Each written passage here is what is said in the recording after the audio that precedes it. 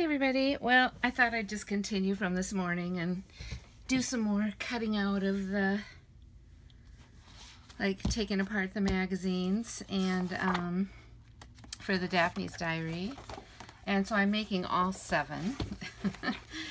I'm just gonna be ambitious. I have six people. I am going to make this for so I'm just going to go ahead and do all seven. And so it'll be kind of to start sort of assembly line, except that I, you know, like I know for, you know, there's some things I know I want a certain, uh, for certain people a certain way. So I have that, in, you know, all that in mind too. But for now, I would just like to get pages um, torn off and apart and such. I've been wanting to do this, like I said, for a long time, so it's pretty, I'm pretty happy that I finally um, get to do this. You know, I think these are kind of in signatures. So if I go and do like this, it feels like I'm going to um, get, uh, this is going to work a whole lot better for taking apart. So that is what I'm doing. So then I just come back up here Anyway, I thought since I'm just going to sit here and tear stuff apart, and if you want to craft along while I'm doing it, um, and just listen to me ramble, then that's kind of what this video is like. It's probably a good one to just um, throw on and do some journaling on your, oh, of your own, unless you want to see me tear pages apart and talk.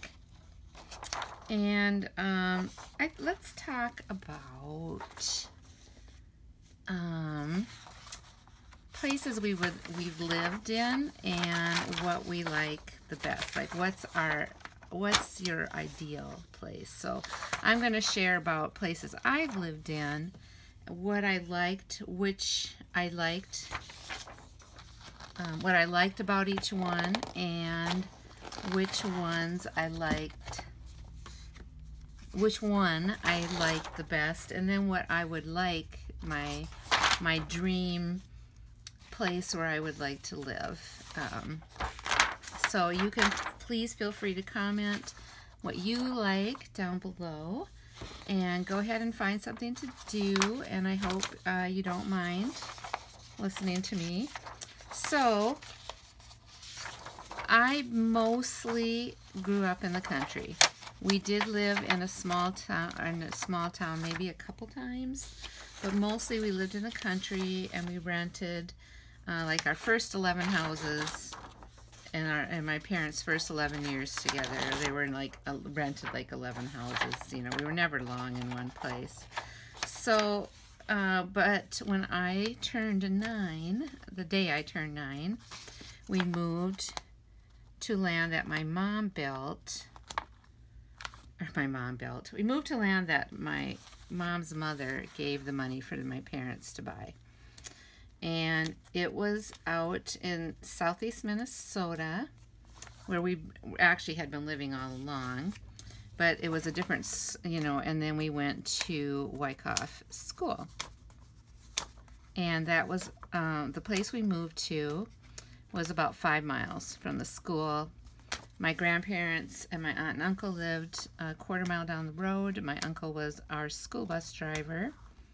And then our church was in the village of Fillmore, about two miles from where we lived, and then three miles more to the little town of Wykoff, which is 450 people, and it was a it's a farming community. My dad graduated from the same high school that I graduated from. So, um, that's another interesting thing, I think. I, I mean, I think that was that was pretty cool. Now, my parents met in New York, so my mom lived out east in Pennsylvania all her life, and so they came back here after my dad had his training with IBM. But anyway, my dad grew up uh, a farmer's kid, and um, so what, he of course went to IBM, and he worked the night shift and he drove, um, I think it was like 20 miles to work, you know, more or less. So, but we got this piece of property from a bachelor farmer and he lived across the road and he sold us the other piece. And it was 38 acres and a good portion of it was part of the National Hardwood Forest and then there was um, a lot of, um, there was a hayfield, there was some pasture land, and um, that was pretty much how it was. So, and there wasn't any um, running water. There was a well, so there was a pump, pump for the well. So, like I said, we moved to this place on my ninth birthday. My parents, the only thing on it, there was a a pole barn that either fell down or my dad took down or something. There was a chicken coop. There was a small like cow shed for the cow if you had cows, so it was kind of a shed. There was um, another shed that maybe could have been used for a garage. We didn't use it for that, but it had big enough doors it could have been a garage. But it was kind of like a machine shed, I guess and that and a cabin. A little cabin like a one room cabin with uh, a, a, bed, a tiny bedroom and then the rest. And it was very small.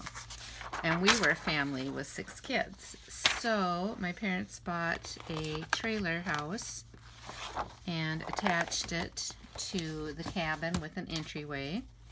And they made a partitioned off part of the bedroom or of the cabin's living room for my brother, and then they made well, one little room was for my dad, and the other area across from that they made another room for because our root cellar collapsed. They made it into a freezer, a cool room, and like kind of like an indoor root cellar. And then we had that little family room.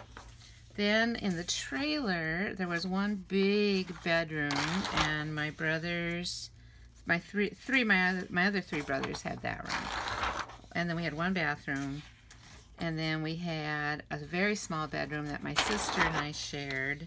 And then my mom slept on the pull-out couch in the living room which we actually turned in the living room we actually made into the dining room because we had a huge table. So we put the table in there and we had a couch and a, my mom's rocking chair. And it was a pull-out couch so my mom would pull that out every night to sleep on until like because she and my dad you know he worked nights and so it was just easier. They just slept apart you know apart. Because he had he would sleep you know in much later and so that would have been pretty disruptive I think um, for both of them. So that's kind of how that worked and uh, you know that was normal for us the kitchen was very tiny. There was a little bitty eating kitchen area um, that just kind of helped serve for extra space. We had a regular stove. Actually, for a while, we had this big wood-burning stove that was really cool. Though I did accidentally lay the palm of my hand on it when I was young and burnt the palm of my hand.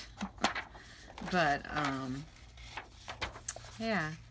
So that's where I grew up. So um, I gave you all that background so you know that I grew up in the country. And I also grew up um, freely being able to run through the woods and, you know, really enjoy that type of um, lifestyle. So that's why I love nature so much.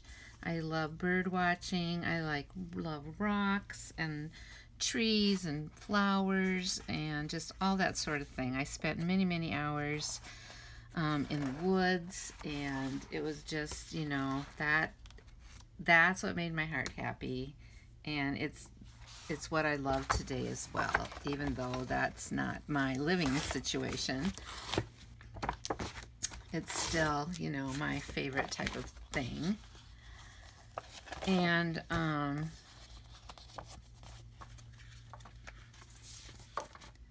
so if I, so that's one place I lived. Then, um, after I graduated from high school, I went to college up in the cities in Minneapolis, but in the suburb of Bloomington. And at that point in time, it was still not built up a whole lot around the school, and there was a lot of um,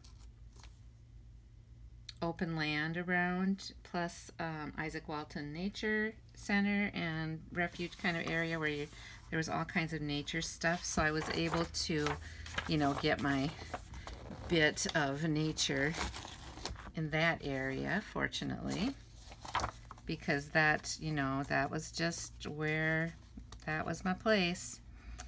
And then for my third year of school, we did internships, and I went to the Bahamas for my year. So I lived on an island. So, okay, so I lived a, in a college, kind of in a suburb, I guess. And then I lived on an island for a year, tropical island. And that was really cool. Um, we lived up on a big hill and we could see, um, we had a really good view of the, we could actually see the ocean. And, you know, there was just something totally foreign and new to me, you know, from what I had grown up with. And then um, after school, we went to Mexico as missionaries and lived there for 15 years. So that was um,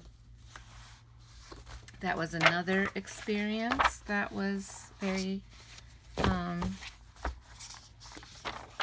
good, different, of course, but but very good as well for me. And um, I loved Mexico. It was totally different we lived at a in a school setting as setting as well, which we had a nice a, a fair amount of land, but we lived outside of town. So it was um, high desert plains, which meant it was semi-arid, and there were mesquite trees and dirt and cactus and um, mountains. And we didn't. There weren't a lot of things could couldn't grow, so I did love. I did come to love the mountains and the cactus. I love cactus. Fair, I still do. And there were hardly any wildlife or birds because of the type of land we lived in, so we didn't really get to see very much. Hummingbirds and um, the what is that? It's a tanager flycatcher. Anyway, whatever it is. That was the one bright bird we had. So that was 15 years. Then 20 years ago, we moved back up here to Minnesota. And we lived in Bloomington again, um, a suburb. And bought a house. Later bought a townhouse. and later moved, sold that and moved to an apartment. So like right now, we're just living in an apartment. Um, and we've been in an apartment now for two years. And at least in all the other places I lived, I could still, because um, it's a big city, I could still go to uh, feed the birds and have some plants, uh, garden of sorts, well, garden for sure on one, and pots for the other, and had trees around me and there were parks, there's parks and all kinds of stuff. But in the apartment, I can't feed the birds and it's just not the same. And I really um, miss that tremendously. And I miss having um, a yard or something of that sort. And so um, we might rent a house if we can find one next year, next summer. So we'll see we shall see what's going to happen with all that. Because I would much rather rent a house than an apartment. But, you know, who knows? Who knows? That's just one of those things.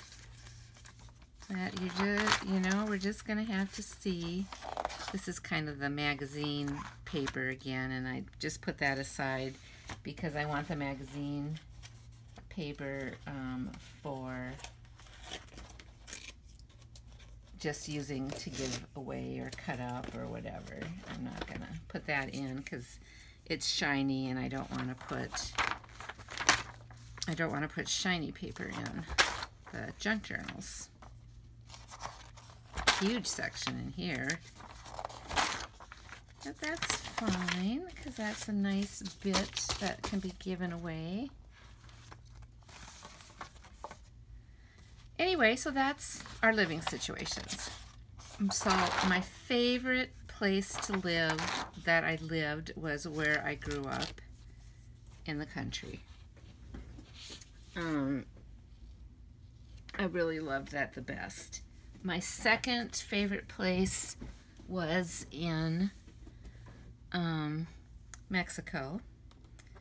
Then probably Bloomington, you know, and then probably lastly uh, the islands, Nassau, Bahamas, where I lived for a year. That was probably last. You're probably thinking I'm crazy because that's not my favorite, but it isn't. Anyway, um,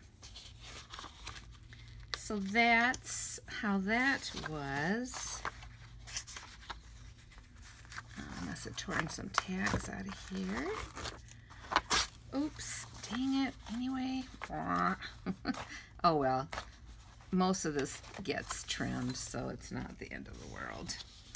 Um, yeah, so my dream place, well, I wanted to be close to my family, especially my granddaughter. But if I had my dream place and I didn't have to worry about where, it would be um, southeast Minnesota in a small town that has a nice big yard, like a beautiful backyard with lots of trees and um, a front porch. I want a front porch so bad.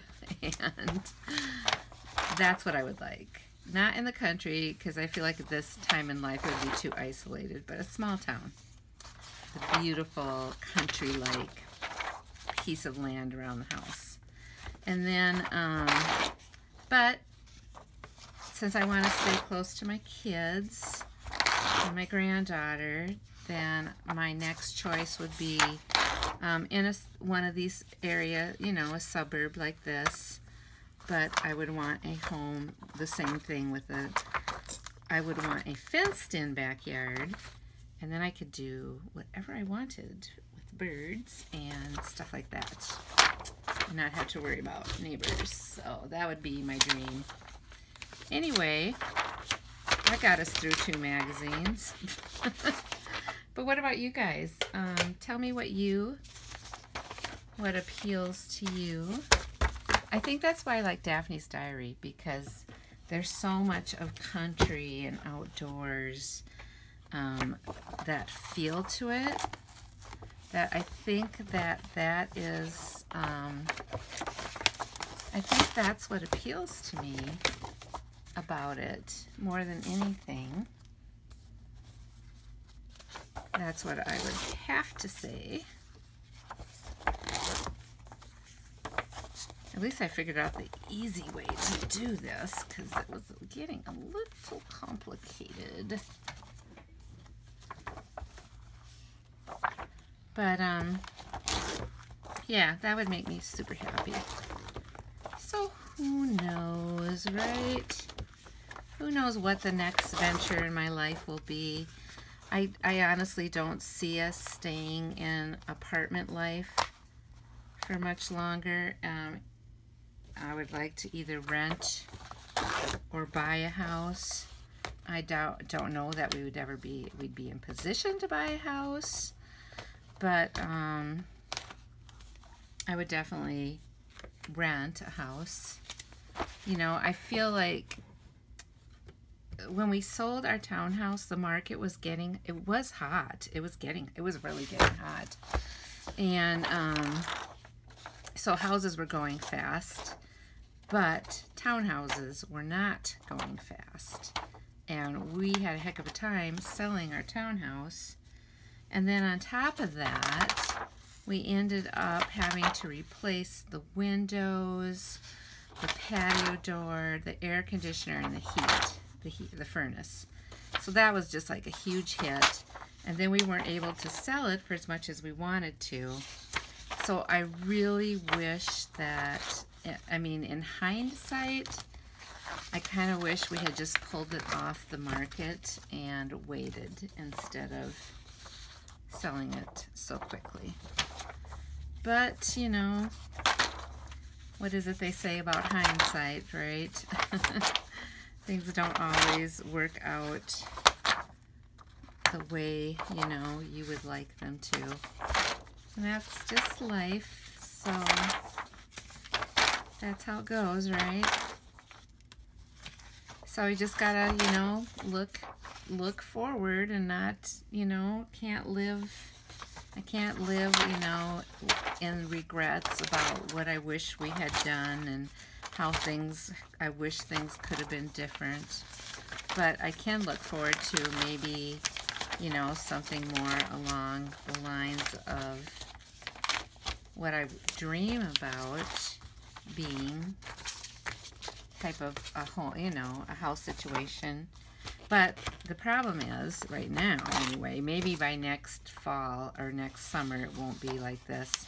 But right now, the housing market is so tight and it's, you know, it's just hard to get even like stuff, anything to rent decent, you know, or just to rent, period. It's just, it is not easy right now, so we will see, right? Oh, this is coming along super well.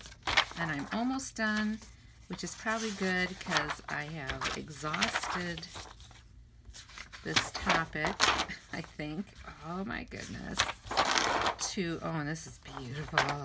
To no end. So I probably don't need to be like going on and on forever and ever here, do I? so yeah. I think it's a good thing I came to a stopping point. And I hope you enjoyed. Uh, hope you found something to do while I was doing this. I'm half tempted to keep like going and, you know, folding papers in half, but um, I think I'll just wait. Yeah, so I have all kinds of things to, you know, that I can do with Daphne's diary. As you saw, we have pulled out a gazillion things, and I have a bunch of things already ready to go, which is exciting too, so that's kind of fun. And, um, I should, I mean, I could go through, like here, I, I pretty much figured, okay, I'll just go a little bit longer. Um, 23 minutes. I figured I probably should just leave this one because, um, well, I can take out like this type of page. But really, um, because I already used this, um, there really isn't a lot I could actually pull out that isn't already backed up onto stuff I wrote. Yeah, I think I had gone through this and just made sure um, that I had anything out, even though some of this stuff I really like. But, I mean, I could pull it out and use it for mine because it's my stuff but as far as anybody else being able to, not so much. So, that one, no, but this one, this one I can do a lot because I don't really use this um, all that much. So, I could just take off. You know, if I could just, I wouldn't have to tear these out. Ooh, let's do this. let's do this so that I don't have to tear out my pages. I just have to, it has to go this way. I just have to go like this. So I wouldn't have had to tear out that, which is kind of nice because you know what you can do is use, um, like you can kind of decorate with string if I wanted to down through these holes. Why is this one being so stubborn? There we go. Oh, that worked. now, how about that for perfect? This one, no. And there's just a couple that are not really pretty pages. This is fine because it explains. And then you do have a lot of really pretty stuff, which is really nice. Now I did, okay, so I did do some pages. And I think I'm going to take the pages I did and put them with my old one because I started something new, but I didn't, I, I don't have a record, so I kind of want to keep those pages. But otherwise, I think, I'm trying to see how far I went before I changed my mind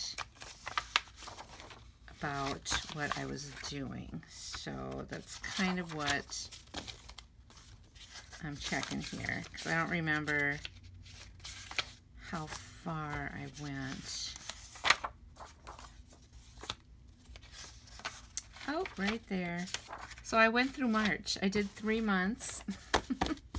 three months. So we're just going to put that right here. And maybe what I should do is put 2018 so I know exactly